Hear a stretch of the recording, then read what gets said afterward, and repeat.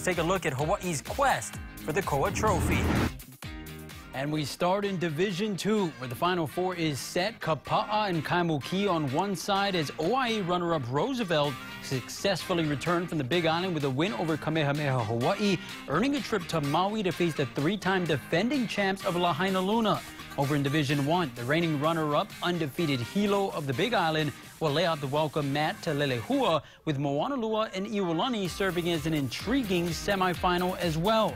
And in the Open Division, the three-time reigning champs of St. Louis will look to make it 37 straight wins against Mililani, while on the other side of the bracket, it's Campbell and Kahuku. Now I want to welcome to the show Spectrum Sports analyst, former Kaiser State champion player and coach, Rich Miano. And coach, as mentioned, the Crusaders aiming at adding another chapter to the dynasty. But if the history books teach us anything, never underestimate the strategy of a Trojan. And head coach Rod York built a schedule to prepare his team for this very game, didn't he? Yes, Rob. Has had the toughest schedule in the state with Liberty of Nevada, Bosco from California. And it, Rod York's motto of anyone, anywhere should serve the Trojans well. But this is a big game against one of the nation's best teams, St. Louis. In big games, your big players need to ball out. I'm talking quarterback Brendan Agbayani, also running back Malosi Sam, wide receiver Kanoa Wilson, and defensively Shane Katie, Muelu Iosefa, Bama Mina, Wyndon Ho'uhuli, and Sunny Semi Atu, along with DB's Asher Pelanka. Absolute studs on that Trojan team. Crusaders and Mililani, a rematch of last season's state title game, the nightcap of an open division doubleheader at Aloha Stadium, but it's the early game that gains the traction of this week's Build Forward tough matchup. Oh, and that rumble you hear is a lifted Raptor with Bridgestones bearing down on a prime parking spot. That serves as the image that matches the intensity of Kahuku and Campbell Part 3. Now, despite entering the season as the anticipated heir to the league's throne, the Sabres have struggled against the Red Raiders.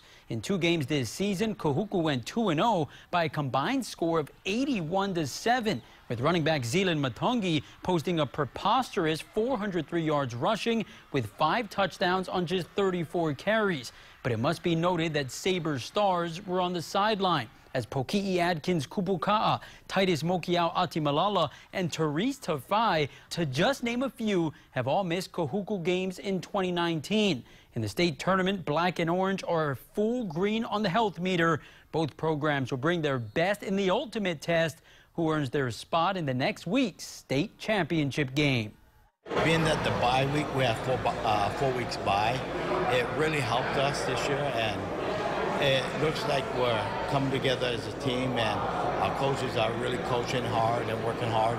We, we, we use the word third time's a charm and we hope it's our charm and we're going to play hard and we're going to show up and be both 0 0 and this one, it counts. It, it's you know, win and move on and, and those hands in your equipment. We don't want to hand in our equipment right now. We, we're telling the boys, you know, the third time we've seen Camboys, now we're going to see their full team. First time we didn't see Poki'i, Tyrese was hurt. The second time we, we played him, Bubba wasn't playing, Titus was on the sidelines. So now this is this third time is the real Campbell Sabres. That was preseason number two. So that's what we're trying to tell the players that this is a different Campbell team that we've seen the first two times. Now, over the last 20 years, Kahuku graduate Darren Johnson has been the head coach at Kailua, Kaimuki, and Campbell. At those three schools, he's gone a combined 1 and 13 against his alma mater, with his only victory coming last season in Ewa Beach. All right, Coach, we brought up the Sabres being bit by the injury bug this season. One player that has stayed relatively healthy, though, is UH-bound receiver Tamatoa Mokiao Atimalala. Now, the junior tight is deservingly showered with attention, but number five is a serious threat as well. Yeah, Tamatoa, when you talk about a route runner, it's amazing how at the top of his routes, you look at a guy that's six feet tall. You look at a guy that is strong, can go over the middle, and then extend plays. I mean, this is one of the state's best receivers, and I think one of the best all-around players in Hawaii. And you talk about Titus being injured, Poki'i Adkins, Kupuka'a was hurt.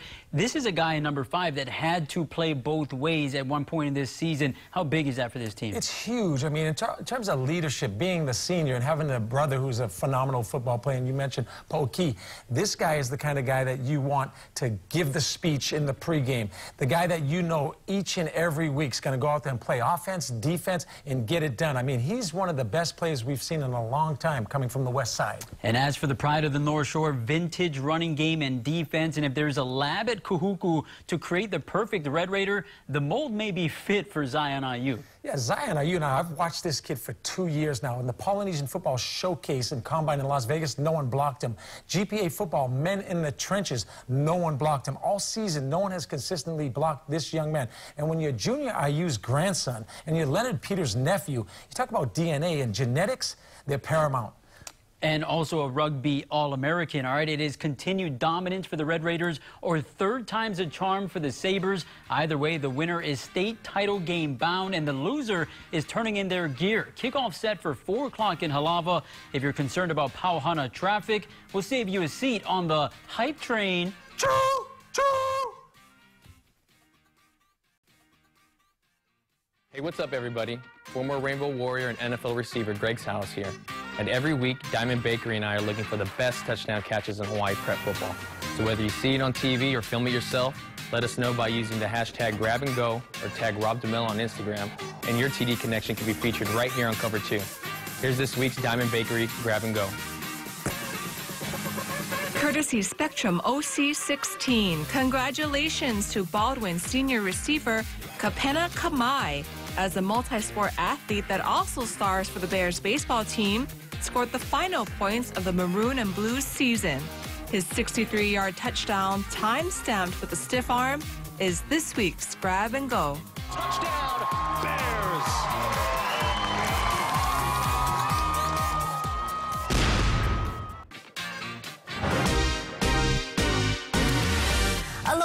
Moanihara, and it's Throwback Thursday time. Tonight, we take the Cover 2 time machine back to 1988, where Leilehua's Adrian Murrell rewrote the record books in Wahiawa. In this three season, as the horsepower to the Mules' rushing attack, number 25 recorded 20 games of 100 yards or more, including two that went for 300 plus. His 332 yards game against Waianae in 1988 set a state record and still ranks as the seventh best rushing game in the island football history. I knew I can do it. It's just, just me going out there and having a chance to do it. What in the world happens to create a 300-yard game for a kid? Shoots, I, would wish we, we know, and then maybe we can duplicate the process. After high school, Murrell starred at West Virginia before a prolific 11-year career in the National Football League, scoring 23 touchdowns, most notable with the Jets and Cardinals. Today, Murrell is in the business development, focusing on real estate and economic growth in the Carolinas. He and his wife of 25 years have three children, and as you would expect, Adrian still has a need for speed on the racetrack. With his 68 Camaro that competes in the Southeast Grudge Racing Circuit.